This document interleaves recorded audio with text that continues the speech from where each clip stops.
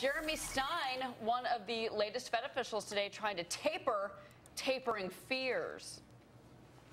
I think the decision that was made uh, at the most recent meeting was really first, foremost, and almost entirely a decision about clarity. Okay, as I said, I don't think it was an effort to to change the stance of monetary policy. I think we were coming to understand as we move forward in time, it was just not acceptable to leave you know, unanswered or to put no color around what substantial improvement means. NewOak Capital President James Frischling and Fulcrum Securities Chief Investment Strategist Rob Morgan, both, jo both joining us live right now. And Rob, you know, we've literally had a parade of Fed officials over the past few days trying to calm the markets, but with red arrows again this morning. Is this damage control even working, Rob? I tell you, Cheryl, I, they, they, they've wanted to be more transparent, and I, and I think they're just confusing the issue here. But, but it does seem that the, the message I'm hearing now is this it's going to continue to be data dependent, uh, even though they have thrown in the calendar dependent uh, argument in there. But it seems data dependent, uh, and that's, that seems to be reassuring the markets. Reassuring the markets, but wait a minute, Jim. I mean, I think there's a bigger story here.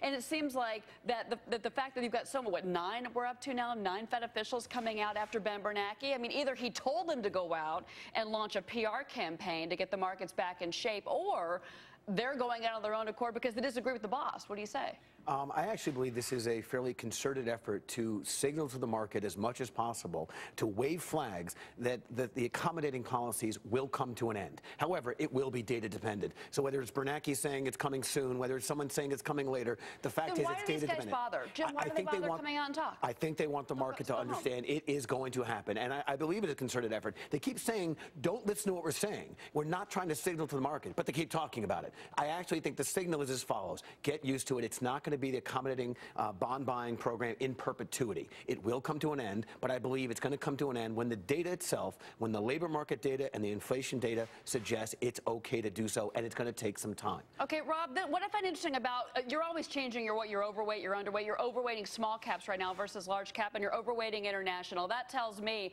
that you're not so ready for all this data. That you think that maybe the Fed, even though they're going to stay in place, that, that you know U.S. markets, especially large cap, isn't the place to be. Well, Cheryl, I, I, made that change really at the beginning of the year because I had been on the on the big cap uh, growth uh, train. I think uh, uh quite a bit of this is related to the fact that I think the dollar is going to continue to nudge up here, which takes some wind out of the sails of big cap stocks and helps small cap stocks. So that's that was really the major reason uh, for for that for that change. And also as bear market or excuse me, bull markets uh, evolve, and we're we're in year five of this one now. the the bull will spread towards more of the small cap, the international area. The, the, the, riskier areas. And I so so even though the Fed is saying, hey, tapering's coming to an end and rates eventually will go up, I mean, I think the bull market continues. All right, but you know what, Jim? One thing that we have seen, and this has caused volatility and a lot of concern, has been what we've seen out of China. Economic data out of China, worries about the banking system there. They've kind of come out and, and you know put some water on it, but still, uh, we don't really know what the next quarter is going to be for China's growth.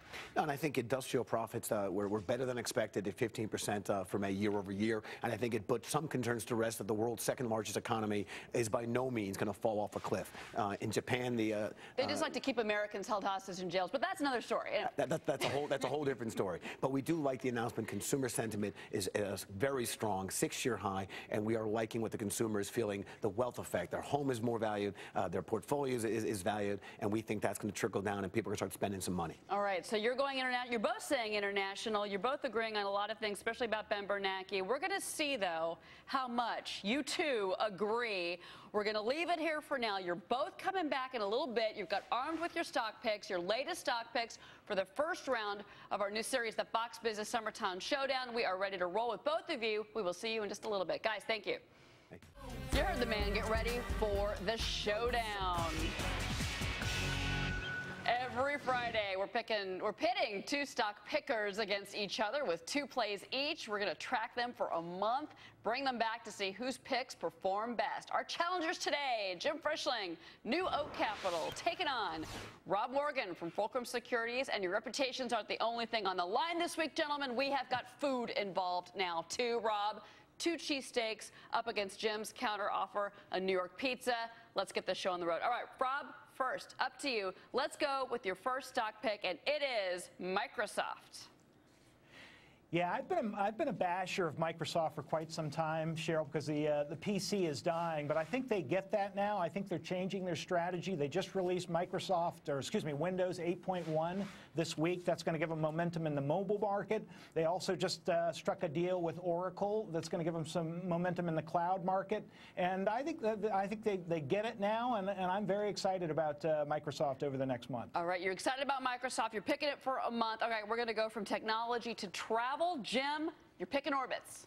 Yeah, for the summertime showdown, I want to pick something that's cool. So what's cooler than going to orbitz.com and booking yourself a summer getaway? Uh, we like the tailwinds uh, in the online travel space. The outlook for the uh, travel industry is up. Consumer confidence is up. It's going to help feed that. We like the uh, the move from the traditional bookings to online bookings. Right now, the U.S. market, 50% of all transactions are done uh, online. We think uh, Europe and Asia lag, so there's growth.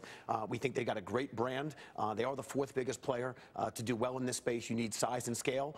Uh, we think they have great consumer loyalty. They're going to benefit greatly from their shift away from, let's say, just U.S. online air booking into e-booking hotels into Europe, into Asia. So we like their growth story uh, as, as they move away and diversify their revenue streams into hotels specifically. Travelocity, step aside on that one. Okay, let's move on to the next pick, Rob, from you. Uh, let's talk about Dover. Tell me about Dover, Rob.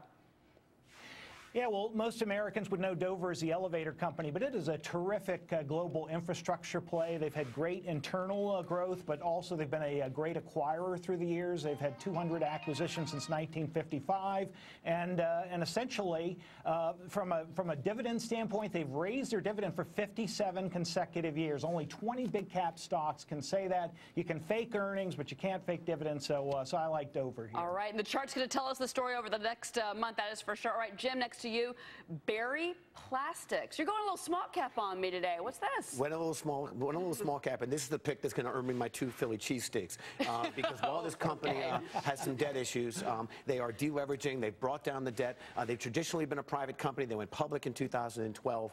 Uh, we think they also took advantage of the low interest rate environment to refinance over a billion dollars of debt and extend the maturities. So they're getting their house in order on their balance sheet. But what we really like about it is this is a very innovative company. And while plastic cups may not sound all that exciting, they're going to be coming out with new products that keep our drinks cooler in the summer and okay. warmer in the winter. And with clients like McDonald's and Procter & Gamble and Hershey, we think it's what they're doing on the innovation side that's going to carry these guys forward. I got 10 seconds for trash talk. Real quick, Jim. He's picking Microsoft. What do you say?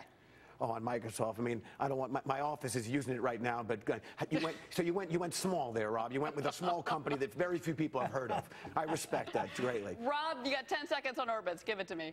hey, Jim, I, well, Jim, I'm, I'm going to look forward to drinking out of Berry Plastics cups when you're buying me that New York pizza, Jim. I, I will, I will, I will look forward to that.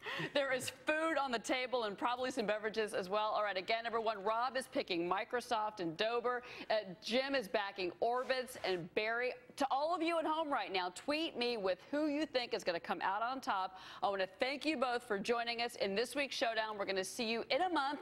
We're going to be crowning the winner. Someone's going to be eating either cheesesteaks or pizza. We're going to figure that out at that point. Let's check in. Thanks, Cheryl. On the competitors. Thanks, guys. Let's check in on the competitors from week one.